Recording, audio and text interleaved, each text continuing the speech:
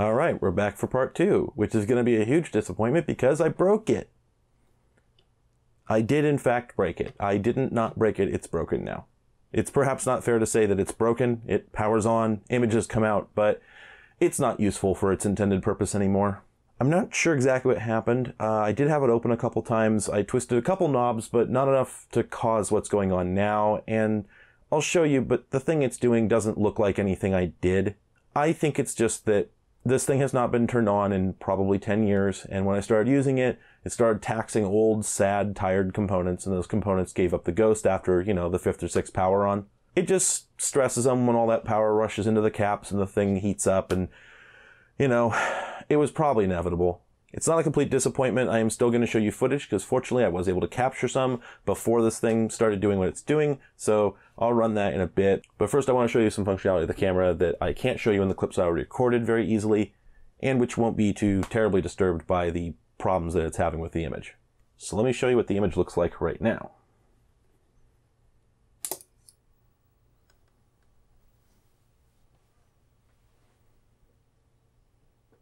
So you can imagine that my room is probably not this color. In fact, it, uh, yeah, this is what everything looks like now. Let me turn off the amplifier and you can see it's a little more like that. Yeah, that's not so bad, right? But it's still pretty messed up. It's mostly just this horrible greenish tint to everything. And it's not that the, it's not that the red channel is dead. I've tested it pretty thoroughly. I've been into the guts on this thing quite a few times. There's still a red channel.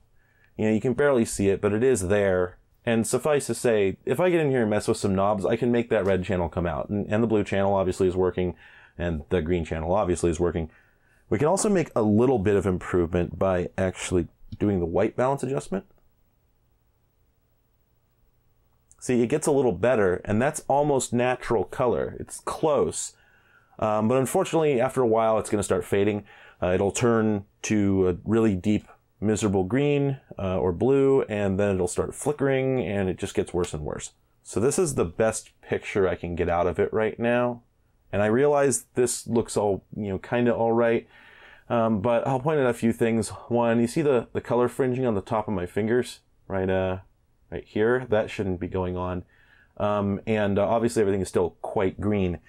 But more importantly, it is going to start fading in a bit and then it won't be useful for anything. And just to demonstrate that there's nothing wrong with the capture interface, there's the bars. They look perfect. It's outputting clean video. The NTSC color encoder is working. It's just, uh, you know, it's, it's not happy anymore. I've been in there and adjusted it a couple times and like I'll get it pretty close and then I'll be thinking, oh, that's great. And I'll look away and look back and there's just like this horrible blue cast all over the screen. I have this video clip from earlier of these weird pulsating green flickers that were happening. And as the thing runs longer and longer, that just gets worse and worse which to me says overheating, slowly failing component. So putting that to one side, it's not really that important that I get this thing to work because the stuff I want to show you on it, the functional stuff, I can show you by other means. See, the trouble is I'm kind of in the position of the kid who's whining to mom, Mom, let's go to McDonald's. And she's saying, but honey, you have two perfectly good JVC camcorders in the fridge at home. I have other specimens of this class of equipment, and most of the features that are on the big red JVC I can show you on these big black JVCs as well. ENG cameras share a lot of features in between eras and models. So even though these ones are much newer, this one's from like 1997, this one's from like 2002, I can still show you pretty much everything that the red one does and more, except these ones actually have pictures that work. In fact, pretty much everything on these ones is working. So I'll do videos on these at some point and I'll get to show you a lot of features of ENG cameras that I like. But what they don't have, something that's on that camera, but is on neither of these, is the lens. These both have quite good lenses, but there's a feature that the lens on the red one has that these ones don't, and I really wanted to show it to you because it's the most kooky thing I've ever seen. I'll tell you, ironically, I'm looking at the picture from this, and this time around, it's not doing the weird bouncing, glitching thing, and the color seems stable, so it would be just my luck that this thing just fixes itself while I'm talking about it. But anyway, while it's working, let's go ahead and get on with the demonstration. For this demonstration, we'll go ahead and move this guy as far back as we can. And we'll put this guy all the way over here. All right, let's get zooming. So as we zoom in here, this looks pretty clear. We might need to adjust focus at the far end here. I'm not sure why it's hazy. It might have something to do with whatever's going on with the video tube circuitry. But anyway, you can see now that we're in as tight as we can get and uh, we're focused. But suppose we want to get in tighter. Suppose this isn't quite enough zoom. what we can do is we can reach down and flip this lever here. See this lever right here? Watch what happens when we flip it. Now we're much closer.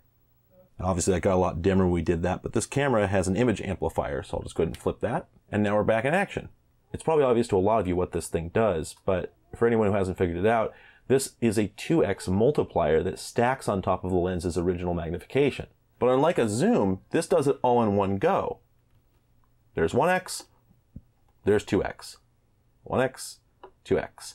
And it's not just at the far end of the zoom range either. We can zoom out and it still applies a flat 2x multiplier. Now you've probably figured out what this is doing. I think it's pretty obvious, but if you haven't, this is literally introducing a new set of lens elements into the image path in the lens, which is a thing I've never seen in any photographic lens in my entire life. See, that's why you've got this bulge here, because inside there's a turret that's got a set of elements on it that swing into the image path. If we take the lens off here, on the bottom here you can see there is this very small access hatch. Oops. So right there is the mechanism. It's a little hard to see what it's doing. Let me try and get you an angle here. There it is. That's the extra set of elements that it's shoving into the optical path. It's a little cylinder in there that's got, I don't know how many lens elements. I'm not taking it apart. Probably ruin it if I do. One thing I'm actually curious about, if you look, this lever operates this roller here, which then operates the middle roller. That middle roller is actually attached to the lens group, so that's what swings it in and out of place. So then what's this one over here? I'm not really sure. It does have the spring on it, because there is a, a spring detent. So maybe that's just the spring detent? But it's also possible that it's uh, part of the electrical signal to tell the camera that you've uh, changed uh, magnification ratios. I think I might have seen that some cameras are aware of that. But again, I'm not taking it apart to find out because I'll probably ruin it. And this is a nice lens. Let's just put this back on before I do any damage. In researching this, I learned that this is called a doubler. And I saw some people on a forum saying that a lot of really decent lenses will have doublers on them. Now I mentioned earlier it got dimmer when I switched from low to high magnification. That's because the way the doubler works is it magnifies the image by two, thus increasing the image circle size. What that means is it's taking the image and it's spreading the same amount of light over a larger area. Now most of that light gets lost because it falls off the edges of the sensor. So the part that's left in the middle that actually still hits the camera sensor is an expanded part of the image, but it's also only half as much light, so it looks much dimmer. I also mentioned I had to turn on the amplifier. I'll show you that as well. I'll go ahead and close down the aperture so that we don't get very much light from this scene. And there's this switch here that says high sense. When I flip the switch to the middle, it amplifies the signal coming out of the sensor by 9 decibels. This is an analog amplification, not a digital one, so it has all the implications that that carries, specifically that it's going to get noisy. If we push it further to 18, it's going to get even brighter and you can see now at this point the image does not quite look right. It might not be clear in the capture, but the image is uh, quite a bit noisier, and obviously the color has stopped looking quite the way it should. Now, this horrible blue cast is the one I mentioned earlier. Even in normal amplification mode, if I leave this thing running long enough, this horrible blue cast will come back. But that's because it's always there, and when I put it in high amplification mode, it just exacerbates it, so you can see that the blue channel is really running a lot hotter than it should be. Both these features exist, as far as I can tell, not because they're ordinary ways to use the camera. You wouldn't want to always run the camera using the doubler. You'd want to put a longer lens on it. The doubler loses light, and the doubler is lower quality. You can't just introduce a new group of elements into a lens on the fly. If the lens worked without them, it's not going to work as well with them. Optical formulas are extremely complicated. So if that's the case, then why would you have this? And if the high sensitivity switch introduces noise, why would you have that? And the answer, as far as I know, is that this is a device for emergencies, for situations where you don't know what's going to happen. This is a device you carry out on a rainy night to see a car crash. And maybe when you get there, all the streetlights are out. You weren't ready for that. But you can't just leave. You won't get the shot. You won't get the scoop. You won't be able to run this on the news. You gotta get something. It doesn't matter if it looks bad. So if you can't get close enough, you hit the doubler and you deal with the consequences. If it's not bright enough, you hit the intensifier and you deal with the consequences. This feature, the high sense one, I found on every single ENG camera I've looked at, and on others it's actually gone even harder. When I show you the newest JVC I have, there's a really neat version of it I'll get to show you then. So that's all I could show you with this guy today.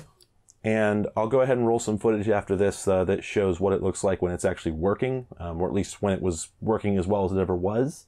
I was still getting like weird color casts and stuff with it, but you know, it still can do better than I've shown you.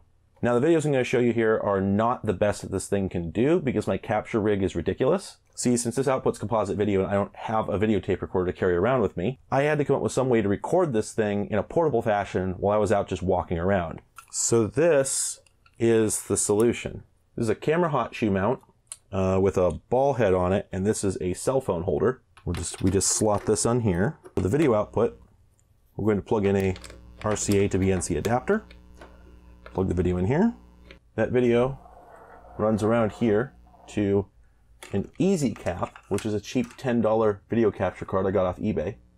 Then the holder here, we're just going to put my Nexus 6P, plug in this USB on the go adapter, and then we'll launch the Chinese malware app I got that lets me capture video.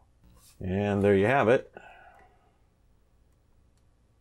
That's the image. And then I can just hit record here, and I'll get a recording. But it's not a very good one. So I don't feel the video from this really represents the quality of this thing. If I'd been able to capture it over my X Capture, uh, I probably would have gotten a better picture, but this is all I could get out into the field, so such is life. I shot this video in a Fry's parking lot out of the back of my car while I was testing the USB adapter I just bought. The color's off because the white balance hasn't been set yet. I'll adjust that later and it'll look a lot less like Vaporwave.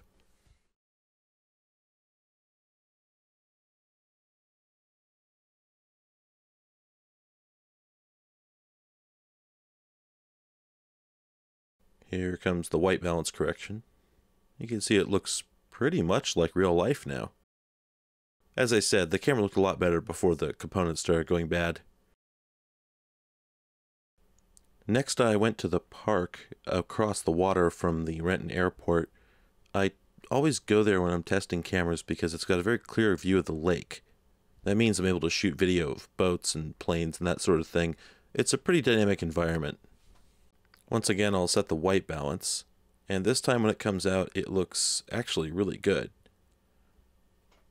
There we go. That looks fantastic. And now we're setting the black levels. I don't fully understand what that does, but it seems to make the picture look better. Now I should note before we continue, do you see this green line at the top that fades to black? That was there ever since the first time I powered the thing on. It was the first indication that something inside of it was going bad. None of the adjustments I made to it were able to get rid of it, so I think that was a capacitor or some component in there that was going bad. That's the first thing that tipped me off this thing wasn't long for this world. The first thing I did was just try the zoom out, and as you can see, even focusing by hand, the zoom on this thing is excellent, really fantastic range, and everything looks crisp and saturated at a distance.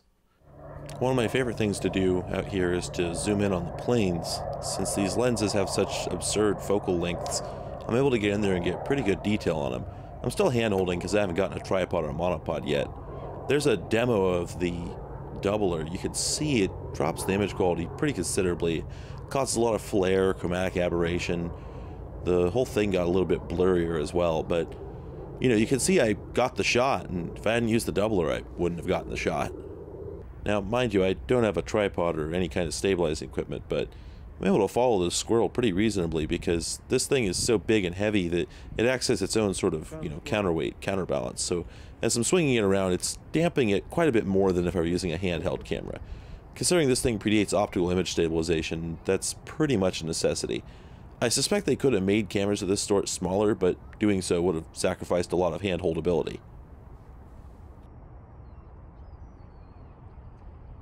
Here I'm going to demonstrate the doubler moving in slow motion.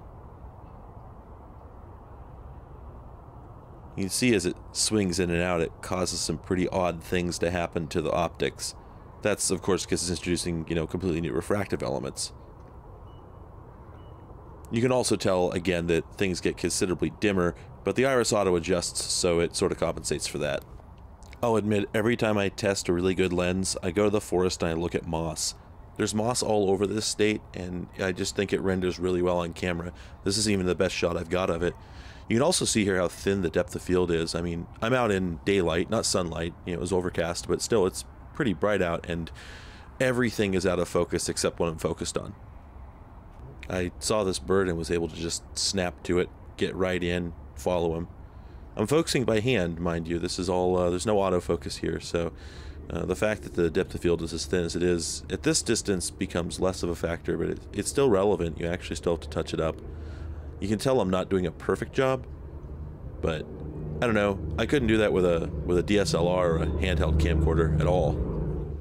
This final shot was taken at night. Um, the sun was completely down. Uh, I was in downtown Seattle, shooting off the top of the Guitar Center uh, out at Westlake, and as you can see, there's not much to look at. I was really surprised at how poor a job this did actually in this lighting. Um, I had the amplifier on all the way to 18 decibels, and with my naked eye, I could see quite clearly out here with the the streetlights and everything. Uh, and with my cell phone, I could also see very clearly. Now I know technology's changed, but I, I still anticipate this thing would do better than it did. Now, right here, you can see a phenomenon that's common to video tube cameras, which I'll explain a little bit better in a later video It has to do with hysteresis of the sensing surface. But because it was so dark outside and I had the amplifier all the way up, uh, whenever I look at bright lights, it leaves these trails behind. And I spent quite a while grooving on that. As you can see, it's a pretty neat, trippy effect. Uh, this is a thing I think was kind of popular in like 70s, 80s music videos, back when all cameras uh, had this phenomenon. Uh, and of course, went out of style. It's a lot harder to make with digital effects now. Very difficult, in fact, to get something that looks quite like this but doing it through analog means is absolutely trivial. You just have to have something that's bad. At this point, I'm sure you've noticed the flickering green lines. I believe this is when the thing started to die. I think the components were starting to give out at this point. Maybe that's why the sensitivity is so poor. Although I'm guessing it was like this when it was new, and that the amplification mode was only for shooting at dusk, and shooting at night was never really a possibility. Here's another example showing you what poor low light performance it has. Uh, there's the shot from my cell phone, and you can see it's pretty dang well lit out there. Uh, then the JVC just can't really get anything out of it. I did get a couple neat shots of flipping the doubler on, which looks fantastic under this high contrast, low lighting. It's really a transition I can imagine getting used in some current prestige television show, frankly. And that's the last of the footage I was able to get with this thing before I brought it home, and then it never really worked again. Here you can see an example of what the footage looks like now when the thing's misbehaving. You can see the heavy blue cast, the green bars gotten larger, there's flickers and glitches all over the place. This is from a video when I was attempting to recalibrate the device, and I was able to make a few changes to it, but you'll see in a moment it doesn't get enough better to really be properly usable again. You can see here I'm uh, adjusting the settings to try and bring down that blue level, but all I can really seem to do is make the red level go way out of whack, or the green level go way out of whack. You can see here as well that the uh, horizontal scan lines from the tubes are highly visible, and I'm not sure what the cause of that is, but whenever this thing is acting up like this, they start really showing up like that. It's almost a neat effect, except I can't control it, just like the glitches. I can't turn it on and off on command, so it makes it kind of difficult to use for anything practical. The best thing I could do with this thing at this point is just use it to shoot vaporwave videos in downtown Seattle, which honestly at this point, maybe I'll just do that. So that's everything I can show you about this guy. Uh, despite the sad ending, I hope you had a good time watching. Keep an eye out for more videos from me on other terrible old camcorders that I've collected and am filling my house with. And otherwise, thanks for watching.